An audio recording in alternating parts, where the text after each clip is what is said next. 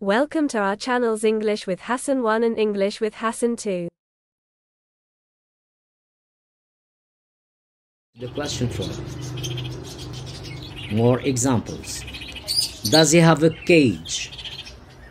Does he have a cage? Does she have a horse? Does it or the safe have keys? The safe, if you don't put your money in the bank, you put them in the safe at home. So it's a box made of iron and we use it for keeping money. Does she have a pony? So pony is a small horse.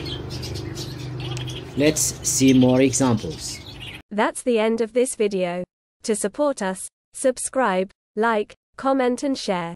See you very soon, God willing.